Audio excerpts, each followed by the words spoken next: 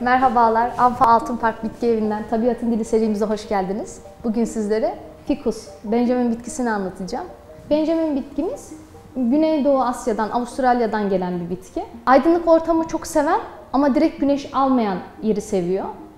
Koyduğumuz yerde Benjamin bitkimizi çok fazla oynatmıyoruz. Önceki e, serilerimizde de söylemiştim.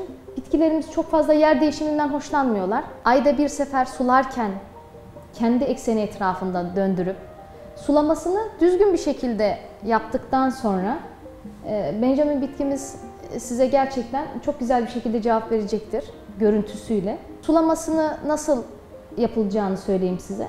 E, sulaması e, önceki serilerimizde söylediğim gibi dinlendirilmiş su olursa, musluktan aldığımız dinlendirilmiş suyu verirsek bütün çiçeklerimiz için bu geçerli. Çok iyi olur. Ve suyunu etrafından döndürerek size şöyle göstereyim. Her yerin eşit şekilde su almasını sağlamamız gerekiyor. Çiçeklerimize su verirken aynı saatte ve aynı miktarda su vermeye dikkat edelim. Her evde mutlaka bir sprey kutusu olmalı. Spreyleme yöntemiyle Böyle yapraklarını yazın daha fazla nemlendiriyoruz. Nemi seviyor çiçekler. Nasıl cildimizin neme ihtiyacı varsa biz insanların, onların da yapraklarında neme ihtiyacı var.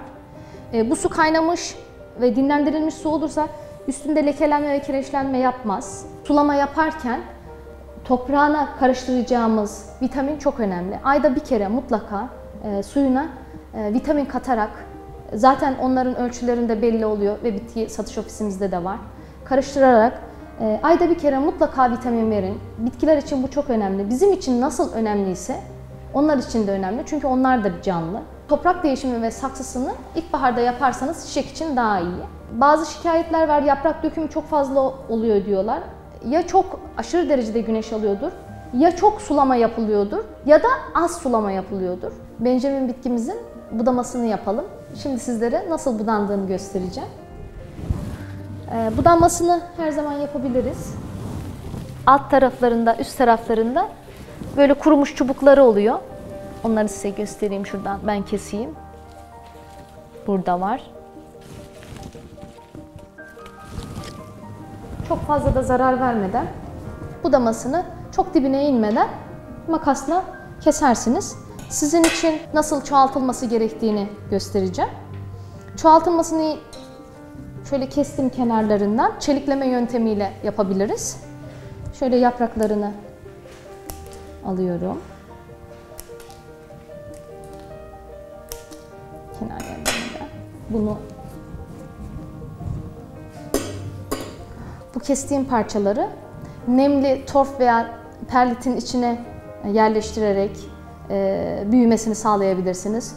Üstüne bir poşetle kapatıp e, bir 15 gün beklememiz gerekiyor. Zaten anlarsınız filizler vermeye başladığında e, bitkimizin canlandığını.